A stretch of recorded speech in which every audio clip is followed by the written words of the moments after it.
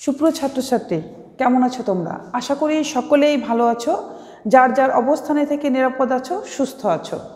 আজকে তোমাদের একাত্তর শ্রেণির যে টপিকসটা নিয়ে আলোচনা করব, সেটা হচ্ছে যুক্তি বাক্য। তাহলে যুক্তি বাক্য কি? যুক্তি বাক্য হচ্ছে দুটি পদের মধ্যে কোনো সম্পর্কের বর্ণনাকে আমরা বলব যুক্তি বাক্য। আমরা সবাই ছোটবেলা থেকে বাক্যের সাথে পরিচিত। বাক্য কাকে বলে? বাক্য হচ্ছে পাশাপাশি কয়েকটি শব্দ সম্পূর্ণভাবে বসে যখন সম্পূর্ণরূপে মনের ভাব প্রকাশ করে, তখন তাকে আমরা বলব বাক্য। কি বলেছি একটু খেয়াল করে শুনো? সবাই আমরা জানি বাক্য কাকে বলে। তাহলে বাক্য আর যুক্তি বাক্যের মধ্যে পার্থক্য কি? হ্যাঁ এই প্রশ্নটা আমাদের মনে অবশ্যই জাগতে পারে যে আমরা তো বাক্য শুনে এসেছি, তাহলে যুক্তি বাক্যটা কি? বাক্যটা হচ্ছে কয়েকটি শব্দ পাশাপাশি বসে মনের ভাব প্রকাশ করলে তাকে আমরা বাক্য বলব। কিন্তু যুক্তি বাক্যের ক্ষেত্রে একটু ভিন্ন। যে কয়েকটি শব্দ শুধু পাশাপাশি বসলেই হবে না, এই যে যে কয়েকটি শব্দ পাশাপাশি বসবে এবং আমরা জানি প্রত্যেকটা বাক্যের কয়টি অংশ, দুটি অংশ। কি কি? একটি উদ্দেশ্য, আরেকটি বিদেহ। বাক্যের কয়টি অংশ? দুটি। একটি উদ্দেশ্য আর একটি বিধেয়। এই উদ্দেশ্য ও বিধেয়র মধ্যে যে সম্পর্ক, সেই সম্পর্ককেই আমরা বলব যুক্তি বাক্য। তাহলে বাক্যে কি বলেছি? বাক্যে বলেছি কয়েকটি শব্দ পাশাপাশি বসে। কিন্তু এখানে আমরা কি বলব? এখানে বলব দুটি পদের কোনো সম্পর্কের বর্ণনাকে বলা হয়? যুক্তি বাক্য। তাহলে তোমরা হয়তো নিশ্চয়ই ভাবছ যে তাহলে বাক্য ও যুক্তি বাক্যর মধ্যে কিছু সম্পর্ক আছে। একটু পার্থক্য আছে, তাই না? হ্যাঁ ঠিক ধরতে, ধরেছ, বাক্য ও যুক্তি বাক্যের মধ্যে সম্পর্ক আছে। সেটা কীরকম একটু আলোচনা করি। দেখো, সকল যুক্তি বাক্যই বাক্য, কিন্তু সকল বাক্য যুক্তি বাক্য নয়। সেটা কীরকম একটু প্রশ্ন কিন্তু মনে আসতেই পারে যে সকল যুক্তি বাক্যই বাক্য, তাহলে সকল বাক্য কেন যুক্তি বাক্য নয়? হ্যাঁ আমরা জানি বাক্য কয় ধরনের? পাঁচ ধরনের। কি কি? বিবৃতিবাচক প্রশ্নসূচক আদেশসূচক ইচ্ছাসূচক ও বিস্ময় সূচক এখানে শুধুমাত্র বিবৃতিবাচক।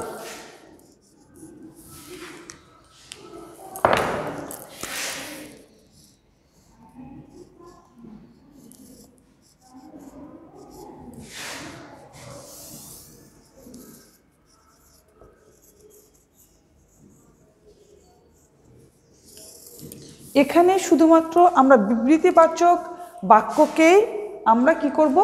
যুক্তি যুক্তি বাক্যে আলোচনা করব। অর্থাৎ যে বাক্যটায় হ্যাঁ বোধক বা না বোধক হওয়ার সুযোগ থাকে, অর্থাৎ বাক্যটি হবে হয় সত্য নাবে হয় মিথ্যা। এই ধরনের বাক্যই আমরা যুক্তি বাক্যে আলোচনা করব। এজন্যই প্রথমে বলেছিলাম যে সকল যুক্তি বাক্যই বাক্য, কিন্তু সকল বাক্য যুক্তি বাক্য নয়। তাহলে বাকি থাকল কি? প্রশ্নসূচক বাক্য, আদেশসূচক বাক্য ঈর্ষাসূচক বাক্য ও বিস্ময়সূচক বাক্য। এই বাক্য চারটি আমরা কি বলব? এই বাক্য চারটি যুক্তি বাক্যের আলোচ্য বিষয় নয়। তাহলে আমাদের প্রথম সম্পর্কটা কি? যে সকল যুক্তি বাক্য বাক্য কিন্তু সকল যুক্তি বাক্য যুক্তিবাক্য নয়। দ্বিতীয়ত দেখব যে যুক্তিবাক্যের মোট তিনটি অংশ থাকে। যুক্তিবাক্যের কয়টি অংশ থাকে? তিনটি অংশ থাকে। দেখো এক প্রত্যেকটি যুক্তিবাক্যের তিনটি অংশ থাকবে। প্রশ্ন আসতেই পারে মনে যে এই তিনটি অংশ কি কি? একটা হচ্ছে উদ্দেশ্য বিধেয় আর একটা হচ্ছে সংযোজক। কি বলেছি? উদ্দেশ্য, বিধেয়, সংযোজক। মনে প্রশ্নে আসতেই পারে যে সংযোজকটা কি? এর আগে তো কখনো সংযোজকের নাম আমরা শুনিনি।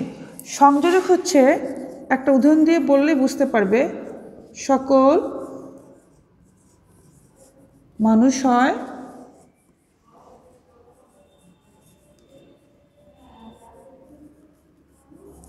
মরণশীল এই সকল মানুষ, এটা হচ্ছে উদ্দেশ্য, মরণশীল, এটা হচ্ছে বিধেয়, এই হয়টা হচ্ছে কি? সংযোজক। তাহলে আমরা কি দেখব? প্রত্যেকটা যুক্তিবাক্যের তিনটি অংশ থাকে, উদ্দেশ্য, বিধেয় ও সংযোজক। কিন্তু একটি বাক্য কেবলমাত্র দুইটি অংশ থাকে, কি কি? উদ্দেশ্য ও বিধেয়। তাহলে কি? প্রত্যেকটা যুক্তিবাক্যের তিনটি অংশ থাকে উদ্দেশ্য, বিধেয়, সংযোজক। সকল মানুষের উদ্দেশ্য হয় সংযোজক, মননশীল, বিধেয়। আর একটি বাক্যে কেবলমাত্র দুটি অংশ থেকে সেটা হচ্ছে উদ্দেশ্য ও বিধেয়। যুক্তি বাক্যের প্রথমে থাকবে উদ্দেশ্য, মাঝখানে থাকবে সংযোজক ও সবার শেষে থাকবে বিধেয়। কি বলেছি? একটি যুক্তিবাক্যের শুরুতে থাকবে উদ্দেশ্য, মাঝখানে মাঝে থাকবে সংযোজক, সবার শেষে থাকবে বিধেয়। কিন্তু একটি বাক্যে উদ্দেশ্য বিধেয়ের অবস্থান সম্পর্কে তেমন কোনো সুনির্দিষ্ট নিয়ম নেই বা ধারাবাধা নিয়ম নেই। তাহলে কি বললাম যে, চার দেখি, পরের পয়েন্টটা দেখি, যুক্তিবাক্যের সংযোজক সবসময় বর্তমানকালের হয়ে থাকে। অর্থাৎ এই যে সংযোজক হয়, এটা সবসময় বর্তমানকালকে নির্দেশ করবে। এই সংযোজকটা সবসময় বর্তমানকালকে নির্দেশ করবে, কিন্তু বাক্যের ক্রিয়া যে কোনো কালসূচক হতে পারে। বাক্যে যে ক্রিয়াটা থাকবে, সেই ক্রিয়াটা যে কোনো কালসূচক হতে পারে, কিন্তু যুক্তিবাক্যে সংযোগটা সবসময় বর্তমান কালকে নির্দেশ করে থাকবে।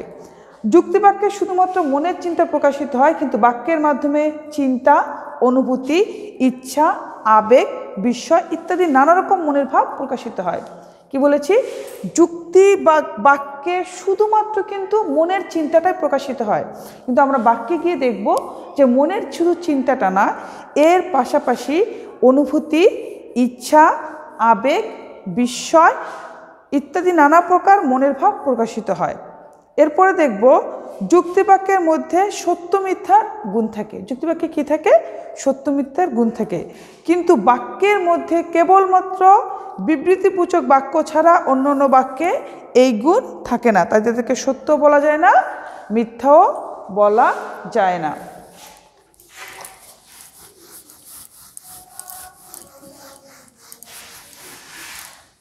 এরপর দেখো আমি যেটা নিয়ে আলোচনা করব, সেটা হচ্ছে যুক্তিবাক্য ও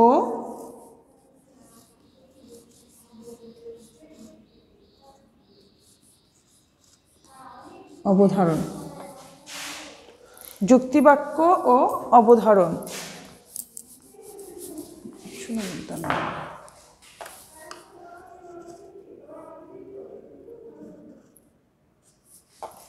তাহলে আমি এর আগে আলোচনা করেছি যুক্তিবাক্য কি? যুক্তিপদ হচ্ছে দুটি পদের মধ্যে সম্পর্কের বর্ণনাকে বা ভাষায় প্রকাশকে। দুটি পদের মধ্যে কোনো সম্পর্কের ভাষাগত প্রকাশকে আমরা বলব যুক্তি বাক্য তাহলে কি বলেছি যে দুটি পদের মধ্যে কোনো সম্পর্কের ভাষাগত প্রকাশকে আমরা বলব যুক্তি বাক্য তাহলে অবধারণটা কি? অবধারণা হচ্ছে দুটি ধারণার মধ্যে সম্পর্কের মানসিক যে প্রকাশ, তাকে আমরা বলব অবধারণ ও মানসিক বাক্য। তাহলে কি বললাম? যুক্তিবাক্য হচ্ছে দুটি পদের মধ্যে সম্পর্কের ভাষাগত প্রকাশ। আর অবদান হচ্ছে দুটি ধারণার মধ্যে সম্পর্কের মানসিক প্রকাশকে বলব আমরা অবধারণ বা মানসিক বাক্য।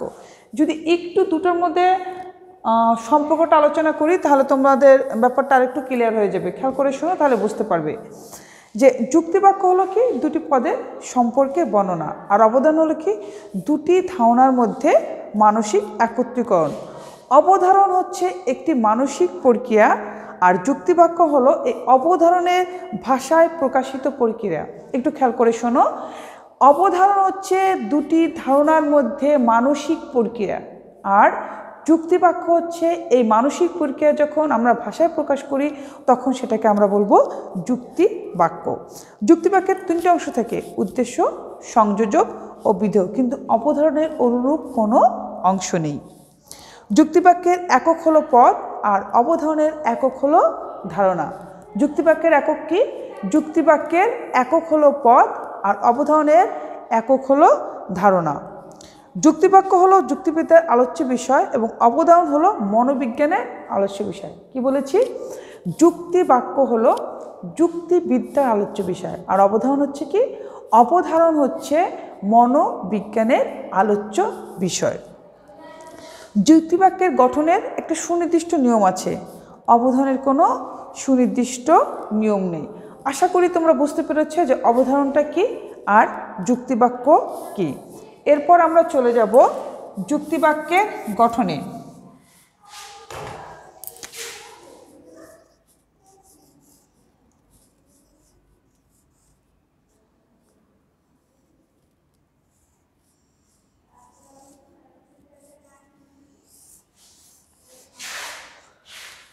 আমাদের পরবর্তী আলোচনা কি? যুক্তিবাক্যের গঠন। আমি এর আগে একটু যুক্তিবাক্য ও বাক্যের সম্পর্ক আলোচনা করতে গিয়ে তোমাদের বলেছি যে একটি যুক্তিবাক্যের কয়টি অংশ থাকে। নিশ্চয়ই তোমাদের খেয়াল আছে। স্যার একটি যুক্তিবাক্যের কয়টি অংশ থাকে? তিনটি। উদ্দেশ্য, বিধেয় ও সংযোজক। তাহলে কি হলো? যুক্তিবাক্যের কয়টি অংশ থেকে? তিনটি। উদ্দেশ্য, বিধেয় ও সংযোজক। তাহলে আমরা উদ্দেশ্য কাকে বলব? বিধেয় কাকে বলব? সংযোগ কি? যুক্তিবাক্যের যে পদ সম্বন্ধে কোনো কিছু স্বীকার বা অস্বীকার করা হয়, তাকে আমরা বলব অব, সরি, উদ্দেশ্য। কি বলেছি? যুক্তি বাক্যের যে পদ সম্বন্ধে কোনো কিছু স্বীকার বা অস্বীকার করা হয়, তাকে আমরা বলব উদ্দেশ্য। তাহলে বিধেয় কি? উদ্দেশ্য সম্বন্ধে, যে পদ দ্বারা উদ্দেশ্য সম্বন্ধে কোনো কিছু স্বীকার বা অস্বীকার করে তাকে আমরা বলব বিধেয়। আর তাহলে সংযোজকটা কি? আর যে শব্দটা উদ্দেশ্য বিধেয়ের মধ্যে সংযোগ স্থাপন করে, তাকে আমরা বলব সংযোজক। আবার বলি যুক্তিবাক্যের যে পথ সম্বন্ধে কোনো কিছু স্বীকার বা অস্বীকার করা হয়, তাকে আমরা বলব উদ্দেশ্য। আর উদ্দেশ্য সম্বন্ধে যে পদ দ্বারা কোনো কিছু স্বীকার বা অস্বীকার করা হয়, তাকে আমরা বলব বিধেয়।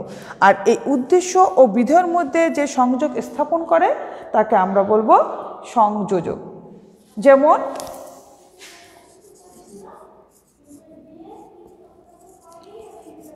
দুধ হয় সাদা। এখানে দুধটা হচ্ছে উদ্দেশ্য। এই পথ সম্বন্ধে কী করেছে? হয় দ্বারা স্বীকার করেছে। কে স্বীকার করেছে? সাদা। আর দুধ হয় সাদা। দুধ, এই সাদাটাকে স্বীকার করেছে কে? দুধ। এটা হচ্ছে বিধ বাকিটা রইল কি? হয়। অর্থাৎ এই উদ্দেশ্য বিধের মধ্যে সংযোগ স্থাপন করেছে কি? হয়। তাই এটাকে আমরা বলব সংযোজক। আশা করি তোমরা সকলে বুঝতে পেরেছ।